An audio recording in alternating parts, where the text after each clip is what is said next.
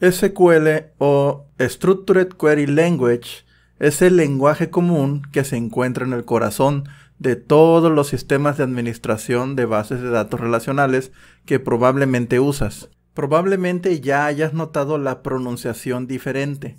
Algunas personas dicen SQL, otras personas dicen SQL. Yo tiendo a decir SQL cuando hablo del lenguaje original en sí y digo SQL cuando se combina con otra cosa, como con el servidor SQL, con Transact SQL, MySQL, etc.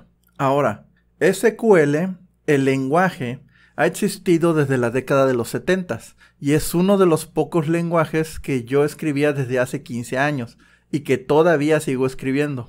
Muchos otros lenguajes de programación han ido y venido, se han puesto de moda y pasado de moda, pero SQL se ha quedado y espero que se quede mucho más tiempo.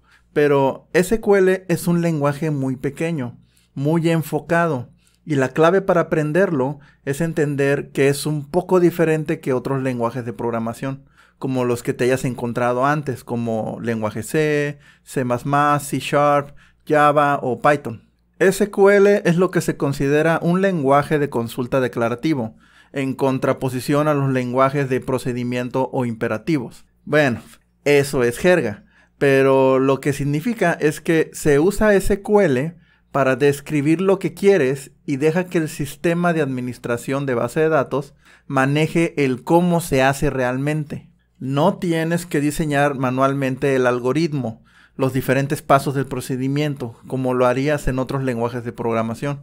Por ejemplo, Digamos, si tengo una mesa llena de libros, quizás miles de libros diferentes, y quiero saber qué libros tienen un precio en la lista de más de 100 pesos, bueno, en el lenguaje procedimental o imperativo, como en C o en Java, tendría que escribir los pasos para hacer esto. Probablemente escribiría un código que comenzaría en el primer libro y luego los recorrería todos uno por uno y cada vez que pasa por este bucle se hace la pregunta de, ¿este libro es más costoso o es más caro de 100 pesos? Si es así, entonces que pase algo y si no, pues que pase otra cosa.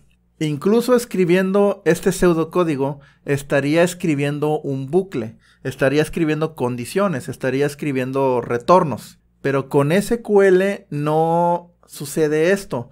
Con SQL no se describen todos los pasos, solo describes el resultado que quieres. Describe lo que quieres de la misma manera que lo harías en español, donde simplemente dices, quiero saber todos los libros de más de 100 pesos y sería esto en SQL. Y eso es todo. Diríamos, seleccione o obtengamos todo lo que está en esta mesa de libros donde el precio sea más de 100 pesos. El sistema de administración de la base de datos tomará esto, analizará todos sus datos, lo va a resolver y devolverá el conjunto de resultados, ya sea un solo libro o 500 libros o incluso ningún libro en caso de que la consulta así resulte. Por lo tanto, SQL se puede utilizar para seleccionar, recuperar o leer datos y hacer preguntas sobre ellos. También se puede utilizar para crear datos, actualizar datos y eliminar datos. De hecho, todas estas cosas se denominan con el maravilloso acrónimo de CRUD. En español a veces le decimos ABC o altas bajas consultas. En inglés sería algo así como crear, leer, actualizar y eliminar. Se puede usar un SQL para crear no solo sus datos, sino también definir las bases de datos en sí. Como quien dice, crear las tablas, crear las columnas que van dentro de esas tablas y hasta los tipos de datos de esas columnas. Ahora, la mayoría de los sistemas de administración de bases de datos tienen su propia implementación, ligeramente diferente del lenguaje SQL central. Si trabajas con Oracle, se usa PLSQL. Si trabajas con Microsoft SQL Server, se le conoce como Transact SQL o TSQL para abreviar.